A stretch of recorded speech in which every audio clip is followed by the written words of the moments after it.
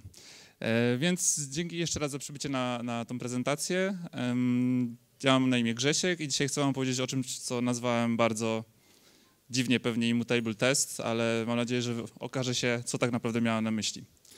E, trochę kontekstu, jeżeli chodzi o mnie. Ja już kilka lat, powiedzmy, że pracuję w różnych domenach, ale e, przeważnie teraz głównie z mikroserwisami. I mam dość trochę doświadczenia w różnych językach, bo różne domeny czasami wymagają różnego doboru technologii. I to, co zauważyłem um, u siebie, to to, że te technologie przywiązują jakichś programistów do pewnych schematów, w którymi żyjemy. I każde technologie właściwie mają swoje schematy. I jak połączyć te wszystkie schematy z czymś, co jest tak powszechne jak testowanie, prawda? I możecie sobie zadać pytanie, dlaczego, po co kolejna prezentacja, jeżeli chodzi o TDD albo o, testowanie w ogóle, skoro możemy wejść w Google i dostać na przykład 10 tysięcy wyników na każde z tych haseł. Więc to, co ja chciałbym przekazać, to zaczniemy od tego, dlaczego, e, z czym ja się zmagałem podczas całej mojej kariery dewelopera, jeżeli chodzi o testowanie oprogramowania. I potem przejdziemy kilka takich rzeczy, które zebrane z wielu źródeł sprawiły, że ja jakoś łatwiej mi się teraz testuje e, kod, który piszę. A na końcu, tak jak obiecałem, będzie um, przedstawiony projekt, który wykorzystuje te wszystkie praktyki. A właściwie nie na końcu, tylko mam nadzieję, że po jakichś 20 minutach prezentacji. Więc pierwszy problem, z którym e, zawsze miałem, wziął się właściwie podczas pierwszej i drugiej pracy, którą e, gdzieś tam e, miałem. Testy poznałem, gdy w kole naukowym kolega mi je pokazał, że można testować oprogramowanie. Byłem zafascynowany, że to w ogóle niesamowite. Teraz będę wiedział, czy robię coś dobrze, czy robię coś źle. No i potem podążałem przez chwilę standardowymi um, patternami, czyli 100% pokrycia testów. E, wow, mogę sobie wszystko zamokować i tak dalej, i tak dalej. I największym problemem, który e, zauważyłem, to nagle okazywało się, że musimy coś, że potrzebuję coś zrefaktorować, bo widzę, że e, prosty refactoring sprawi, że dowiozę daną funkcjonalność dużo szybciej. Nagle się okazywało, że moje testy przestawały działać i zastanawiałem się, z czego to wynika. Przecież gdy podążam tymi zasadami i tak dalej, i w ten sposób testy okazywały się, że nie pozwalają mi na refaktorowanie kodu w taki sposób, że czuję się bezpiecznie. Więc straciłem tą bezpieczność, którą miałem mi gwarantować. Czułem, że coś jest nie tak i nie wiedziałem w ogóle, jak sobie z tym poradzić. Jeżeli chodzi o TDD, którą również uważa, uważałem za no, niesamowite osiągnięcie y, programistów, prawda? Najpierw test, potem dopiero kod. Nie mogłem tego zastosować. Mogłem to zastosować tylko do e, kodu, który widziałem, jak się zachowa, dokładnie co chcę napisać i tak dalej. Kończyło się to tym, że mogłem go stosować tylko i wyłącznie do E, najprostszych przypadków. No a z drugą stronę piszemy kod tylko po to, żeby dostarczać e, wartości biznesowe i jeżeli się gdzieś poczyta jakieś blogi, no to po to testujemy oprogramowanie, żeby można było jeszcze szybciej dostarczać wartość biznesowi. Więc żeby to nie było takie gołosłowne, będę nawiązywał do prostego projektu, którym potem pokażę już w IDE. I to będzie najbanalniejsze coś do wypożyczania filmów, czyli po prostu tworzymy system do wypożyczania filmów. Więc oczywiście trzeba będzie jakoś te, listy, te filmy e, wylistować, żeby mógł sobie użytkownik je przeszukać. Będziemy mogli wypożyczyć dany film, będziemy mogli go zwrócić, będziemy mogli prze, e, przedłużyć czas wypożyczenia, może jakieś rekomendacje na podstawie e, innych użytkowników. Pewnie można byłoby to zawęzić do jakichś user stories, czyli bardziej konkretnych feature'ów, które nasza aplikacja ma spełniać. Jak na przykład warunki e, takie, że użytkownik nie może wypożyczyć więcej niż dwóch filmów naraz, albo nie może wypożyczyć filmów, na które jest za młody. No i pewnie gdybyście dostali takie coś, to pierwszą taką ideą jest super, jest nowy projekt, e, piszemy go od zera, więc idziemy do klawiatury. No jeszcze czasami można wcześniej e, zebrać się razem, napisać jakiś diagram na, na, na kartce, E, widzimy jako zespół, prawda, decyzja architektoniczna, wiemy, gdzie tam będzie klient, na pewno użyjemy kawki, bo, bo no, tak. E, tutaj będzie cloud, bo teraz to jest modne. No i według mnie nie o to chodzi. I chciałbym pokazać, dlaczego to, w jaki sposób w ogóle podejdziemy do tworzenia systemów, potem wpływa na to, jak wygląda jakość naszych testów. Więc zacznijmy od tego, dlaczego w ogóle jakość designu jest istotna, albo naszej architektury. Jeżeli mamy jakiś słaby design architektury, albo nie mamy w ogóle takiego, takiego designu, to nie możemy oczekiwać, że potem testy będą łatwe do setupu i łatwe do realizacji. Skoro my nie rozumiemy, jak działa się na, nasza aplikacja, no to testy też tego nie zrozumieją. Kiedyś usłyszałem takie zdanie, które wryło mi się e, w moją pamięć i jest bardzo proste. E, czym jest architektura? Architektura to jest zbiór prostokątów i szczałek, gdzie e, szczałki są zawsze skierowane i ten diagram nie ma cykli. A z kolei każdy taki kwadrat albo prostokąt składa się z innych prostokątów i innych szczałek. Mm, I teraz kiedy ta architektura powstaje, bo będę mówił o testowaniu, ale architektura tak naprawdę musi powstać jeszcze zanim zaczniemy w ogóle pisać kod, bo samo testowanie nie pozwoli nam odkryć tej architektury. Więc oto ona, tak? Mamy użytkownika i to są nasze kwadraty. Te kwadraty będę powoli wgłębiał się, czym są, one są. Ale możemy sobie wyobrazić, że jest użytkownik, który chce wypożyczyć film, i będziemy mieć jakiś klocek, który będzie realizował pewną logikę e, wypożyczania tego filmu i będzie również komunikował się z innymi klockami, to jest właśnie ta szczałka i te kwadraty, e, na przykład z zapytaniem, czy użytkownik nie ma czasem jakiejś zaległości, być może nie powinienem pozwolić mu wypożyczyć kolejnego filmu. No więc zacznijmy wgłębiać się, czym jest moduł, albo czym może być moduł, tak żebyśmy mieli wspólne rozumienie, przynajmniej na potrzeby tej prezentacji, a potem przykładowego projektu. Po pierwsze to będzie ten najwyższego rzędu kwadrat albo prostokąt, a w środku jak widać są inne kwadraty i prostokąty. Każdy taki prostokąt będzie już y, wykorzystywał jakieś elementy programowania, żeby udostępnić API. Tak? Możemy to nazwać prostą enkapsulacją. Ja bardzo mm, tak się, tak, tak z tym się spotkałem, że to się po prostu nazywa wzorcem fasadą, czyli po prostu udostępniamy y, zbiór funkcjonalności, który dany y, moduł, klocek spełnia. Czym jest taka fasada w kodzie? Fasada w kodzie jest po prostu interfejsem. Widzimy, że mamy interfejs, który realizuje jakieś założenia i możemy się domyślać, co będzie, się, co będzie za nimi stało. Nie interesuje nas implementacja, ale wiemy, że jeżeli chcemy wypożyczyć film, no to na pewno metoda rend będzie dobrym um, początkiem, żeby to zrealizować. Trzeci punkt, jeżeli chodzi o komunikację to te klocki będą się ze sobą komunikowały tylko i wyłącznie za pomocą swoich własnych fasad. I to jest, powiedzmy, że trzymanie się zasady enkapsulacji, ale nie na poziomie um, poszczególnych klas, funkcji, obiektów, tylko na poziomie modułów, czyli no, dużo wyżej w kodzie, powiedzmy, że. I to, co też jest trochę um, punktem pobocznym, ale jeżeli będziemy mieli takie, takie cechy tych, tych modułów, to jednym z kolejnych cech, które jest trochę wynikową, jest to, że każdy taki klocek potrafi mieć swoją własną implementację i swój własny design. Czyli jeżeli mamy prostą aplikację krudową, no to jeden z tych e, komponentów, modułów może właśnie taką cechę posiadać. A gdzie indziej możemy używać czegokolwiek chcemy, modnych aktorów albo event sourcingu, e, cokolwiek pasuje do konkretnego problemu, który rozwiązujemy. To ładnie pokazuje, czym i co daje nam fasada. Fasada, czyli ten interfejs konkretnego modułu, sprawia, że nie interesuje nas, co jest w środku. I to jest cecha, która bardzo, bardzo przyda się potem w testach. Więc żeby podsumować, czym jest moduł, bo wcześniej trochę mówiłem, z czego się składa, a nie powiedziałem, czym jest. I ciężko jest w sumie dobrze określić, czym taki moduł ma być, prawda? Jeżeli przychodzimy z e, wymaganiami biznesowymi, a mamy nagle przełożyć to na nasz diagram architektury. W tym pewnie może pomóc jakaś wiedza z zakresu DDD i, wzorców strategicznych. E, wtedy każdy z tych klocków może w jakiś sposób enkapsulować część logiki domenowej, którą potrzebujemy zrealizować.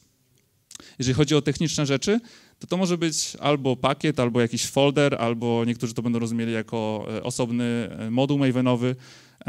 To, co te, te wszystkie koncepty, które mam za, na, nadzieję tutaj pokazać, E, mam nadzieję, że są niezależne od zupełnie języka, e, w którym one działają. Mm, ja sprawdzałem to na przykładzie Pythona, Go i, i Java i wydaje mi się, że właśnie można wyodrębnić takie elementy, które e, działają dobrze niezależnie od języka, niezależnie od frameworków ani technologii, których korzystamy. I tutaj może trochę pomóc związek, związek Hexagonal Architecture, E, bo to jest bardzo podobna koncepcja, można powiedzieć. Można powiedzieć, że właściwie dokładnie to samo, czyli zamiast naszego kwadratu mamy nagle nasz e, heksagon, który też enkapsuluje tą logikę domenową.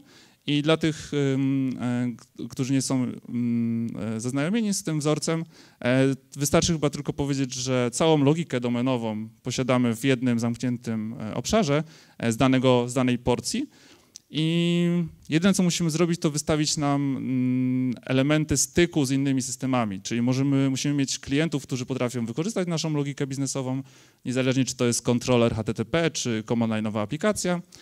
Mamy również e, jakieś potrzebę repozytorium, która, e, do którego powiemy, gdzie coś ma zostać zapisane. Nie interesuje nas dokładnie gdzie, może to być Postgres, może to być e, nawet Kafka, nie jest to istotne.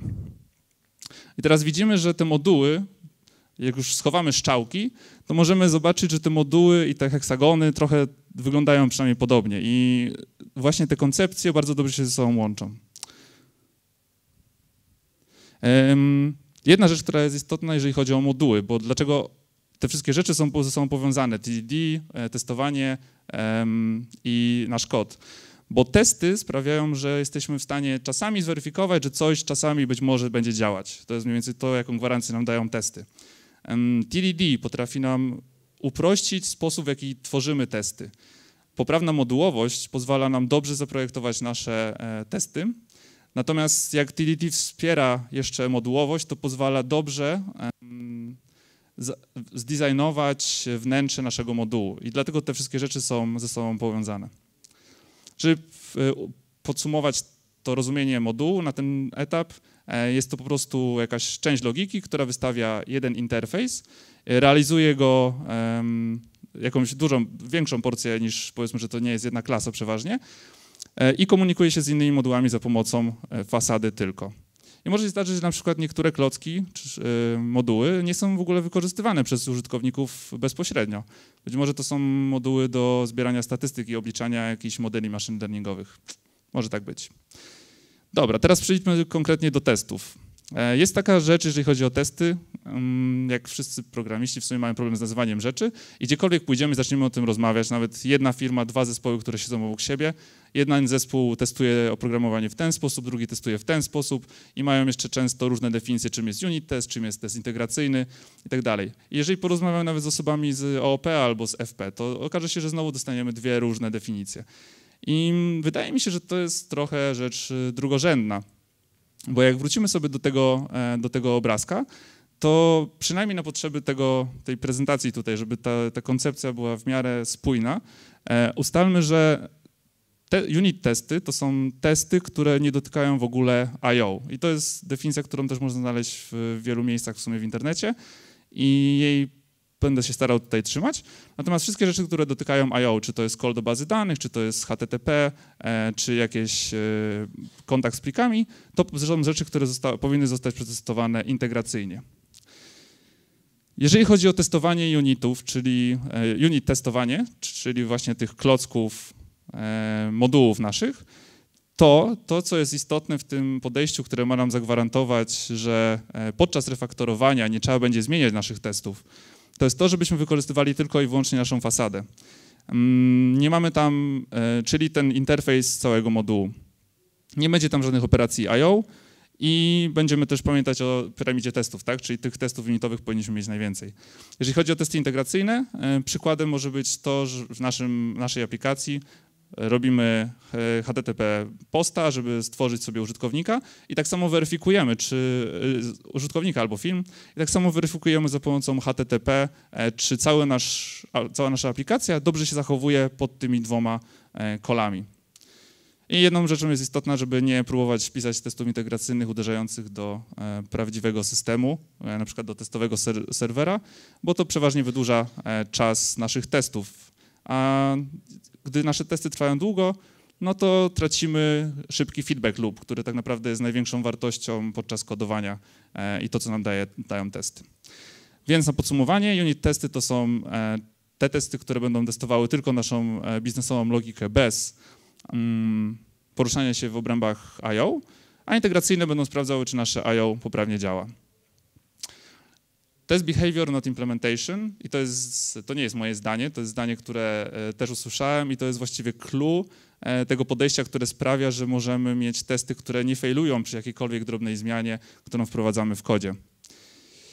Okazuje się, i to jest właśnie to, z czym miałem największą trudność, że ta wiedza jest w internecie, tylko ona jest bardzo rozproszona i wiele osób e, pisze o niej w różny, w różny sposób. To jest przykład wycinek sztucznego dialogu z e, bloga Clean Coder, e, Uncle Boba, gdzie dwóch programistów rozmawia między sobą. I tutaj pada takie zdanie, że testy nie powinny być odzorowaniem struktury em, kodu, co na przykład zdarzało się, jak zaczynałem programować, bo zaczynałem w ten sposób, że tworząc jedną klasę, od razu tworzyłem dla niej klasę testową, prawda? To się wydawało naturalne. W końcu mówiono mi, że testy, testy mają sprawdzać wszystko, co robię. E, na innych blogach można zobaczyć na przykład, że e, są rzeczy, które kaplują nasze testy do implementacji, co utrudnia nam przeprowadzanie refaktoringu. I w tym wypadku akurat, w kontekście tego e, blog posta z, od Martina Fowlera, tym czymś są, jest używanie moków. No jakby się tak zastanowić, no to rzeczywiste życie nie używa moków. Jeżeli chcielibyśmy na przykład przetestować restaurację, czy, czy restauracja daje dobre posiłki, no to idziemy do niej, zamawiamy coś, jemy coś. Nie robimy czegoś takiego, że idziemy do niej, zamawiamy coś, weryfikujemy, czy kucharz umył ręce, weryfikujemy, czy został użyty nóż typu IKEA i tak dalej. Prawda? Nie ma sensu. Interesuje nas akcja, którą chcemy zrealizować i efekt, który uzyskamy. I to jest coś, z czym też spotkałem się pod konkretną nazwą chyba tylko w jednym miejscu, bo pytanie, jak można to, jak można w takim razie testować oprogramowanie, nie używając moków? Możemy podejść do tego w dwóch sposób. Jeżeli mamy na przykład jakieś trzy klasy albo funkcje, które ze sobą się komunikują i ta pierwsza wykorzystuje dwie jako pomocne rzeczy do wykorzystania części logiki biznesowej, to wtedy możemy po prostu stworzyć sobie to coś, ten cały kompleks trzech e, obiektów e, pamięci i przetestować jeden z nich jako całościowe zachowanie.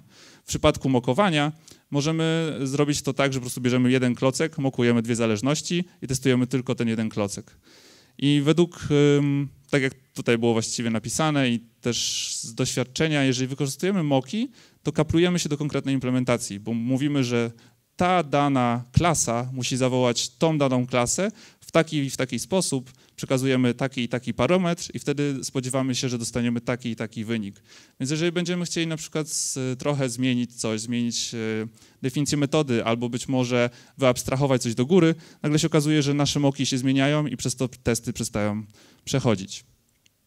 I te dwie rzeczy połączone razem ze sobą, czyli mm, te socjalne testy, które tworzą nam całą strukturę na przykład modułów pamięci, plus modularna architektura, o której mówiłem w pierwszej części, może trochę przypominać black box testing, e, biorąc pod uwagę, że mamy zamknięty moduł, wykorzystujemy tylko fasadę do komunikacji z nim i sprawdzamy zachowanie jako stan początkowy, czyli input i stan oczekiwany. Nie interesuje nas dokładnie w ogóle, co się dzieje w środku. No i można zadać e, pytanie, no dobrze, w unit testy, ale mamy na przykład repozytorium, prawda? Mamy repozytorium, które normalnie jest repozytorium postgresowym w implementacji na produkcji. No i jak teraz przetestować e, jednostkowo coś, gdzie tak naprawdę jest tam I.O.? Zawsze się używało do tego, test, do tego typu testów moków, prawda? Mokowaliśmy bazę danych i wszystko e, działało dobrze. I czy ktoś ma jakiś pomysł, jaki, e, jakiego innego test dubla można wykorzystać?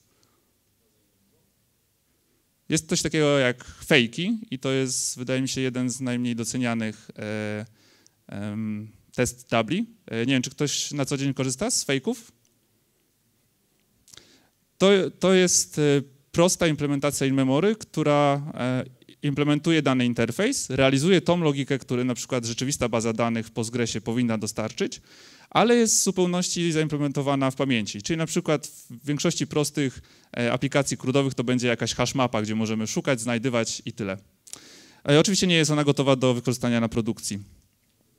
I dlaczego fejki na przykład są lepsze od moków? Bo jeżeli korzystamy z moków, to nasz test na samym końcu będzie posiadał jeszcze właśnie te weryfikacje, czy dobrze zawołaliśmy naszego moka. Jeżeli korzystamy z fejków, to Owszem, musimy trochę przełożyć część naszej pracy na to, żeby nasz fake dobrze działał, co przeważnie nie jest bardzo skomplikowane, e, ale dzięki temu uzyskujemy niezależność e, naszego, naszego testu od tego, jakie konkretne metody zostają wołane pod spodem. Czyli podsumowując, dzięki temu, że mamy tą publiczną fasadę, to e, moduły wystawiają ją na zewnątrz i testujemy nasz, nasz test, co zobaczymy potem w projekcie, wykorzystuje tylko i wyłącznie tą fasadę, co może się wydawać nienaturalne. Niektórzy, ja też miałem takie, że przecież nie da się wszystkiego przetestować w ten sposób I owszem, nie wszystko się da, nie wszystko jest sens, ale dużo tego typu testów sprawia, że mamy dużą pewność podczas refaktorowania, że nasz kod będzie działał dobrze. To, co jest istotne, ja na przykład korzystam z, z, przy pisaniu testów z reguł wziętych z BDD, e, czyli given, when, then. E, given to jest setup testu, czyli co potrzebujemy mieć e, w systemie, w stanie naszego systemu. When to jest jedna linijka, która e, weryfikuje jakieś szkola do fasady i then również korzysta tylko i wyłącznie z fasady, żeby zweryfikować ten stan. Potem może jeszcze będzie e, okazja, żeby powiedzieć o tym trochę więcej. Więc to jest hasło, które dla mnie naprawdę zmieniło podejście do testowania, żeby nie testować implementacji, jak konkretne klasy się ze sobą komunikują, tylko testować zachowanie systemu. Dobra. Będzie mi ciężko się poruszać z mikrofonem po IDE. Wydaje mi się, że trochę tego nie przemyślałem. Co nie znaczy, że się nie da. Mam nadzieję.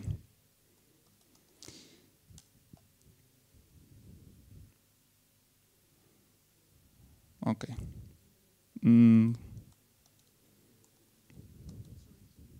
Nie, dziękuję. O, teraz weszło. Dobra, jesteśmy w tym projekcie. Mm. I zobacz. Hmm. No cóż, chciałbym używać skrótów klawiszowych, ale będę suwał z suwakiem. Więc mamy ten nasz projekt i to jest zarys, y, którym chciałbym pokazać, jak y, to podejście, wykorzystując te idee modułów, enkapsulacji już na poziomie modułów, a nie tylko na poziomie poszczególnych klas i funkcji, y, możemy mieć testy, które nie testują nam zupełnie implementacji, testują tylko zachowanie systemu. Więc wejdźmy do środka takiego projektu i zobaczmy, co jest w środku. Więc możemy zobaczyć, że jest tam jakiś... Aha, i jest to projekt w Go. Mam nadzieję, że e, nie nabazgrałem implementacją na tyle, żeby nie było to zrozumiane. Ktoś w ogóle... Kto, kto z was e, koduje na co dzień w Go w tym momencie? No, no to, no to idealnie ale dzięki temu możemy też sprawdzić, czy e, to jest prawda, że Go jest tak prostym językiem, że każdy go rozumie. Także idealnie się składa. Mm, więc mamy jakiś e, main naszej aplikacji. Zapewne on będzie budował całą aplikację, możemy tak za założyć. E, to są jakieś niepotrzebne rzeczy. Widzimy, że mamy Dockera i Docker Compose z jakimiś zależnościami. Widzimy tutaj Postgresa, widzimy Mongo, widzimy coś do migracji, no i wejdźmy do góry. Widzimy jakieś rzeczy do migracji, powiedzmy, że na razie nie jest to istotne w naszej aplikacji. Jakieś skrypty pewnie, żeby zautomatyzować pracę. No i mamy source'y i dobrze, że nie ma dużo osób, które piszą w Go, bo to na pewno nie jest go away, jeżeli chodzi o pisanie modułów. Ja często e, słyszę komentarze, że e, człowiek z Java przenosi paterny z Java do, do innych pro, języków programowania. E, ja po prostu trochę lepiej mi się rozumuje w ten sposób. Widzę, że tam są source, więc wiem, czego tam się spodziewać. Wejdziemy do środka i możemy zobaczyć te moduły, o których wcześniej e, pisałem. Widzimy, że jest moduł fees, e, czyli jakieś pewnie kary. Jest moduł filmów.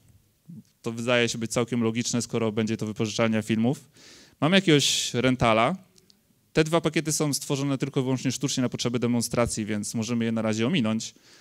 No i mamy jeszcze użytkowników. No to wejdźmy do środka modułu użytkowników i zobaczmy, co tam się dzieje w takim razie.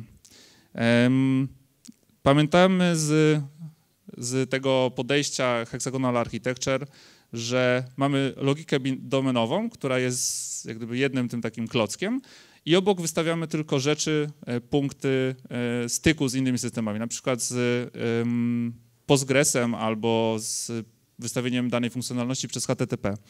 I to będzie właśnie miejsce, gdzie tego typu implementacje będą się działy. To będzie infrastrukturalne elementy naszego kodu, które tak naprawdę nie są istotne z, ze względu na, na, na, zachowanie. Tak? One tylko i wyłącznie sprawiają, że nasza implementacja działa dobrze. Więc pójdźmy dalej. Mamy tutaj coś, co się nazywa API e, i znajdujemy tutaj naszą fasadę. Widzimy, że posiada tylko dwie funkcjonalności, create i find. Są tutaj zdefiniowane e, struktury, których potrzebuję do tego, żeby inne moduły na przykład mogły e, zawołać tą fasadę. No i właściwie nic się nie dzieje, nie mam tutaj jeszcze na razie żadnej implementacji.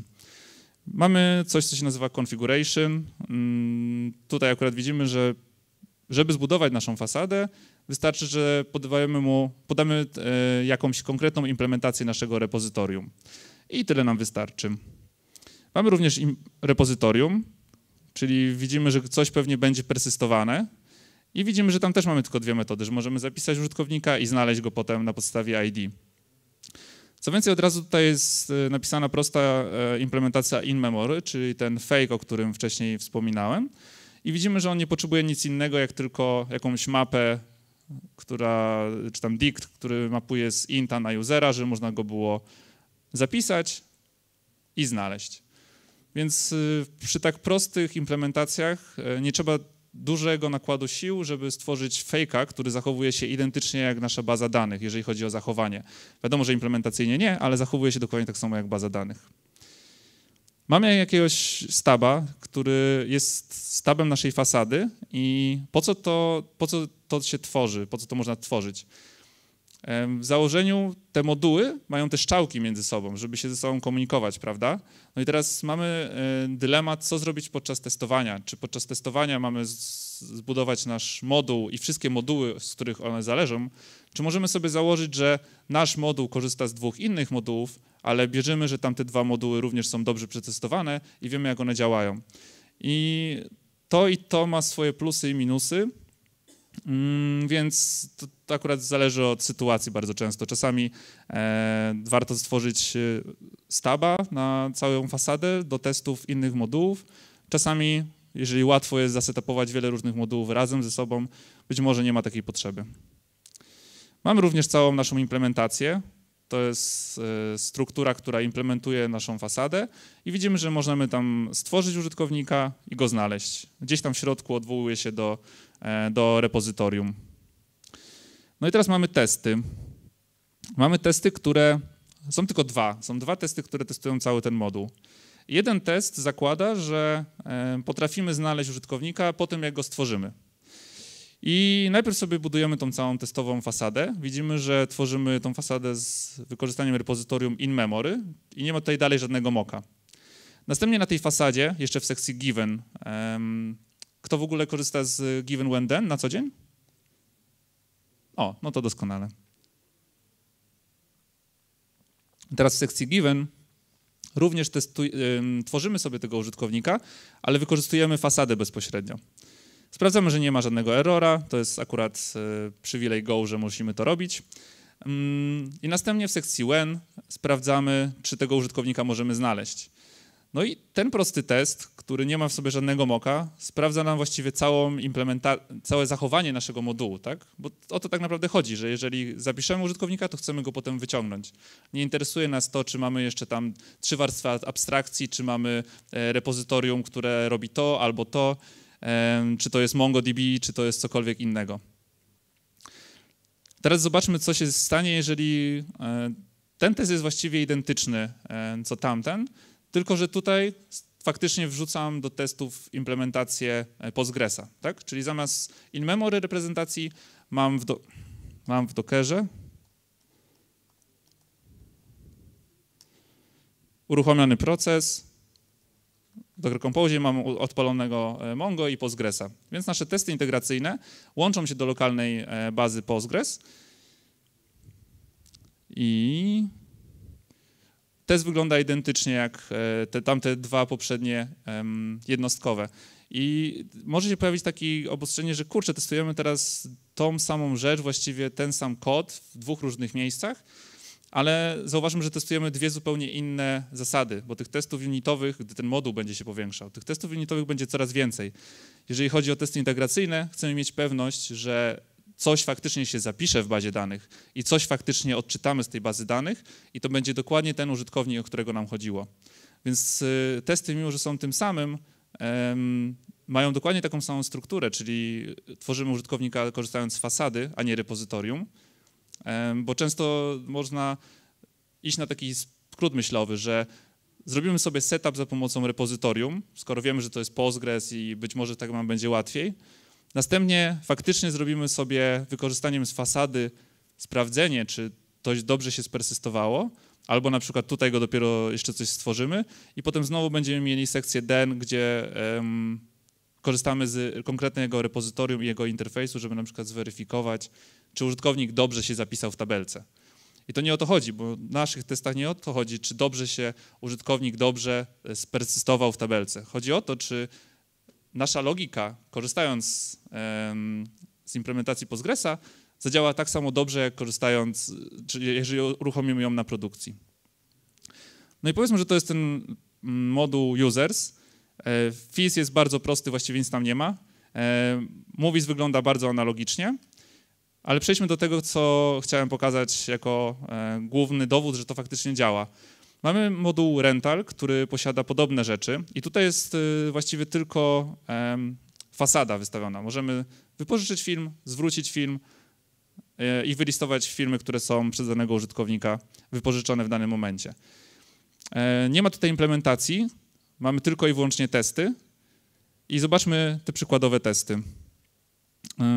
Jak przeczytamy sobie nazwę, to widać, że może bardziej konkretny.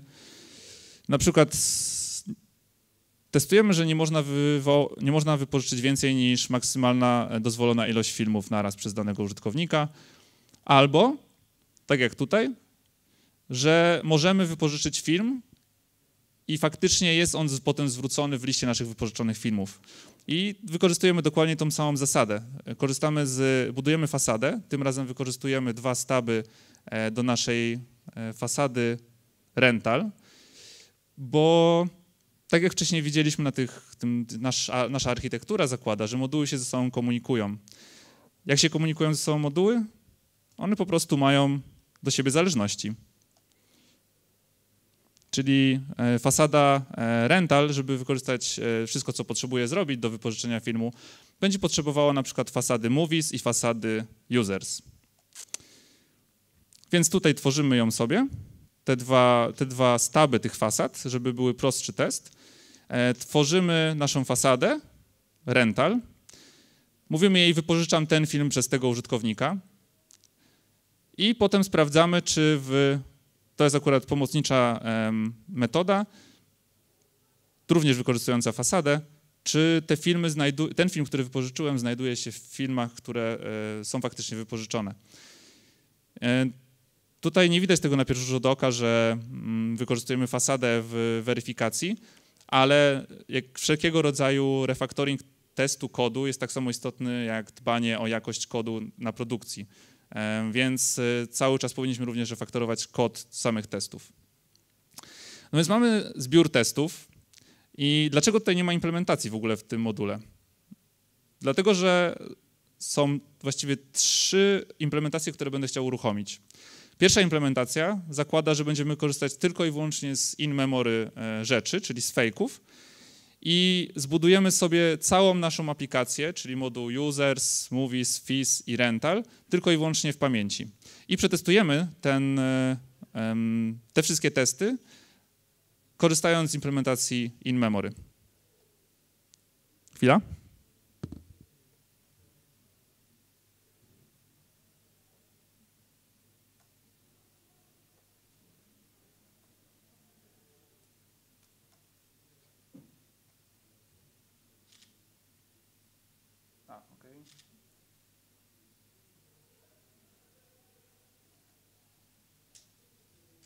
Teraz wszystkie nasze, już biorę mikrofon z powrotem. I teraz wszystkie nasze testy tego modułu, właściwie całego projektu uruchomiliśmy, uruchomiliśmy korzystając z implementacji in-memory. No i wydaje się to być ok. Możemy powiedzieć, że wszystkie testy wykorzystują tylko i wyłącznie ten najwyższego punktu e, fasady. I to jest ciekawe, że niektórzy powiedzą, że nie można wielu rzeczy przetestować takim sposobem, bo często musimy sięgnąć głębiej, żeby sprawdzić, czy nasz moduł dobrze działa. Więc jako metrykę wybrałem w tym momencie test coverage, mimo że nie wierzę w niego już tak bardzo jak kiedyś, to przynajmniej na te potrzeby prezentacji dobrze pokazuje to, co chciałem pokazać. W teorii w tym momencie widzimy, że mamy tylko 53% pokrycia kodu, prawda? Ale jeżeli wejdziemy sobie trochę głębiej i wejdziemy na przykład do naszego Rental CRUD i Rental CRUD to jest jedna z implementacji, która jest po prostu crudową aplikacją um, rent create, tak, create rental, get rental i tak dalej, to zobaczymy już, że w środku tego, tego modułu, tam gdzie jest faktyczna implementacja, mamy 95% pokrycia testów, tylko i wyłącznie wykorzystując te najwyższej wagi moduły. Więc y, fasady, przepraszam. Chodzi o to, że tak naprawdę nie trzeba testować naszego kodu, sięgając głęboko do środka i patrząc, jakie klasy, funkcje i tak dalej wykorzystujemy podczas y, jakichś procesów biznesowych. Wystarczy, że będziemy go testować z najwyższego punktu. No więc mamy tą fasadę, która, mamy tą fasadę, która um, jest tutaj uruchomiona. No i teraz w, jednym krokiem mogę zrobić zamianę. Tym razem mówię, że nie chcę wykorzystywać implementacji in-memory i chciałbym, żeby te testy uruchomiły się jako testy integracyjne. Będę zapisywał rzeczy do Postgresa, lokalnie uruchomionego i będę również odczytywał te e, rzeczy z lokalnego Postgresa. Uruchomię teraz te testy. Zmieniłem właściwie implementację e, naszego repozytorium, czyli zastąpiłem jeden klocek drugim. I dla niektórych to się wydaje bardzo naturalne, bo pamiętając na przykład Spring Data, jak jeszcze miałem tą przyjemność pisania w e, innych językach programowania, no to tam mamy e, repozytorium, które jest właściwie domyślnym wyborem. I nie potrzebujemy pisać implementacji naszego, naszego interfejsu repozytory, mówimy tylko na jakiej bazie mają się odpalać nasze rzeczy. E, I to jest podobna koncepcja, tak? Ten, to, ten, ten repozytory pattern pozwala nam na tego typu podmianki. No jeżeli nie mamy testów, które sprawdzają nam e, zachowanie, no to nieważne jakim repozytorium coś będziemy e, zapisywać, i tak testy powinny przejść dalej. No dobra, ale tutaj na razie pokazuję tylko, że e, faktycznie można sobie podmienić e, repozytorium na inne, no i testy dalej przechodzą, tak? Powiedzmy, że z dużym pokryciem e, code coverage dla tego modułu, który aktualnie jest testowany. No to teraz zobaczmy. A.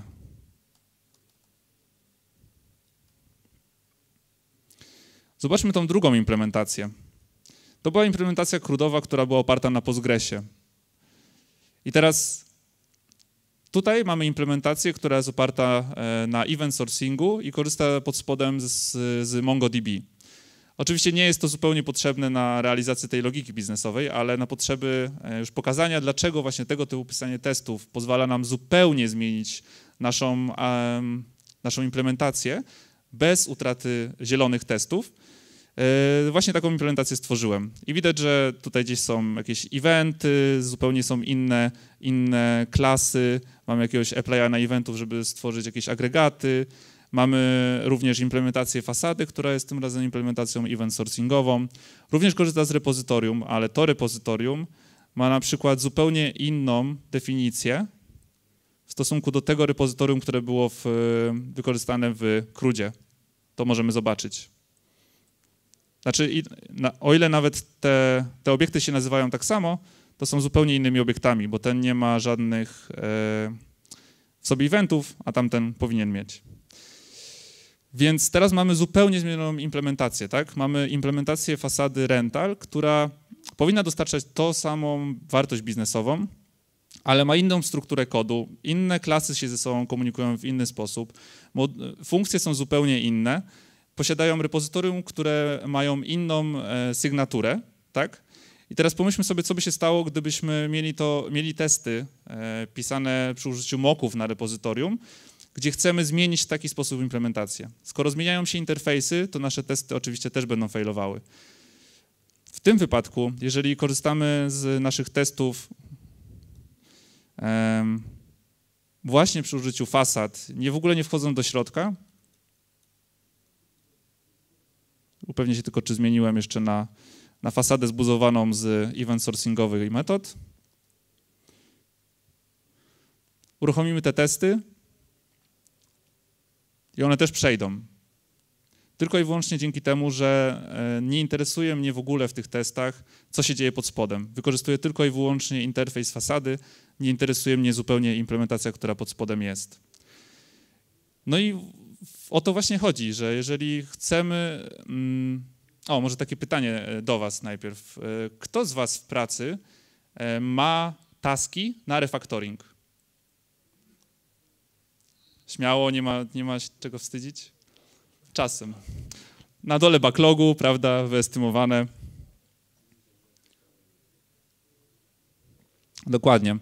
No ale refactoring tak naprawdę powinno się wykonywać za każdym razem, taka jest idea refaktoringu, e, bo refaktoring ma nam pomóc szybciej dostarczyć konkretną wartość biznesową. Więc nie powinniśmy planować naszego refaktoringu po to, żeby szybciej dostarczyć wartość biznesową, która jest w backlogu nad tym refaktoringiem, prawda?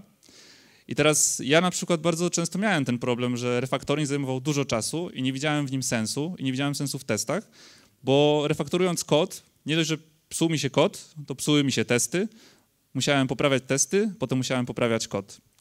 Przy wykorzystaniu tego typu koncepcji to, jest, to sprawia, że czujemy się bezpieczni, bo mogąc uruchamiać testy, cały czas wiemy, czy nasza implementacja dobrze działa. I wiemy, że jeżeli coś zepsujemy podczas refaktoringu, to ten test nie przyjdzie, nie, nie, będzie czerwony przez przypadek, dlatego że zmieniliśmy jakąś sygnaturę metody, tylko dlatego, że faktycznie my popełniliśmy błąd podczas refaktoringu i zmieniliśmy zachowanie e, całego systemu. I ten test wtedy to wykryje.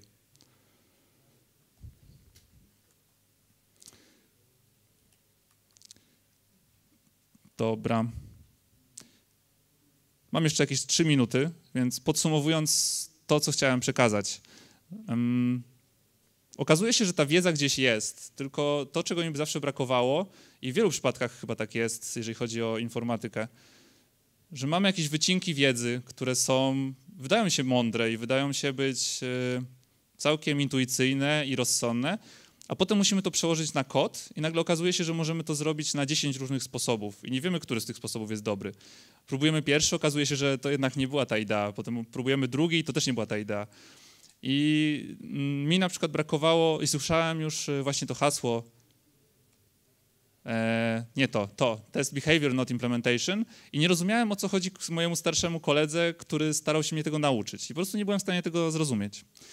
E, I to wynikało z tego, że nie wyobrażałem sobie życia testów bez użycia moków. Gdy zrozumiałem, że można testować oprogramowanie bez użycia moków, okazuje się, że można mieć testy, które faktycznie są niezależne od struktury naszego kodu. I to by było na tyle. Cały projekt jest na, na GitHubie. Mm, jest dużo rzeczy, które warto byłoby tam dorzucić jeszcze jako przykłady testowania zależności, bo to to, z jakich technologii na przykład korzysta ten projekt, czy to jest Mongo, czy tam czy Postgres, nie jest istotne. Chodzi bardziej o to, żeby pokazać y, przykłady, jak testować oprogramowanie bez w ogóle skojarzenia się z konkretnymi frameworkami i konkretnymi technologiami. I mam nadzieję, że udało mi się to pokazać. Y, I dziękuję bardzo.